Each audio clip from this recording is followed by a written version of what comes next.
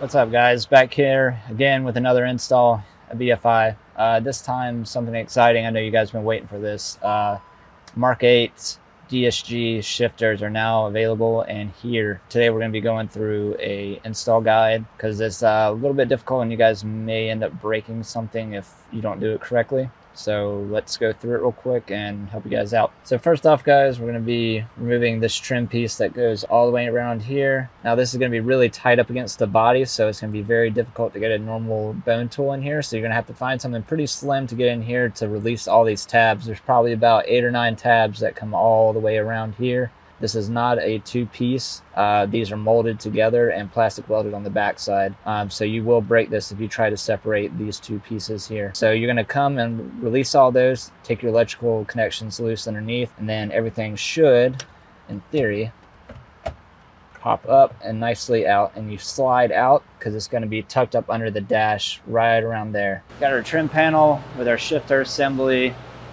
flip it over then you'll see all your plastic welds for those two trim pieces I was telling you about before. This is your main switch body that we need to get out. This is going to have to completely come out for us to disassemble the switch portion of everything. There's tabs one two three four on either side. You're going to release those tabs and then keep tension as you're releasing and push in and it will allow this to pop out so you can gain access to everything. So I'm gonna go ahead and take that apart and then I'll show you guys the next step. So we released all eight of those tabs. We're gonna slowly take this whole assembly out at the bottom, set it on our table, set this to the side so it doesn't get scratched up. Now this is gonna be our main switch body. This upper portion here is gonna have to come out. All right, so we've released the clip and everything. Now we got to take our upper trim off. As you can see here, I've already loosened it. You got four tabs here, four tabs here, and then this guy just easily rocks forward because it tucks up underneath this parts switch. And then you're going to set this to the side. So we're going to have to release this upper portion from the lower portion via this access hole here. Luckily we have a switch here so I can visually show you. Once you release it on the inside here, you're going to release towards the front of the vehicle and you'll see there's a tab here and there's a clip that lies within this tab. So you're going to push the body all the way forward as you're pulling and it should release this away from it, which will allow you to pull this entire body out and the switch down. As you can see, we got our electrical connection here. Just be careful not to bend the pins as you pull it out. I'm gonna set that to the side, and now we can come in here and release the entire switch body if we choose to do so.